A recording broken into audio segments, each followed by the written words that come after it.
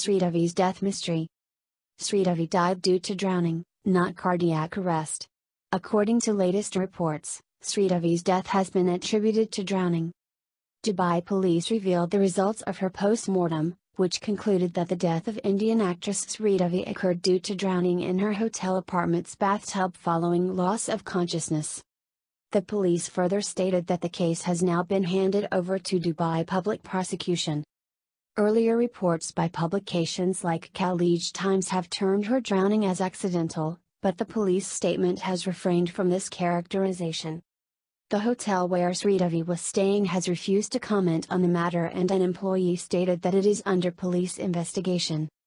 Sridevi was in Dubai to attend a wedding last week and passed away late Saturday night. Earlier reports stated that the actress died of cardiac arrest. Thank you for watching. Subscribe for more videos.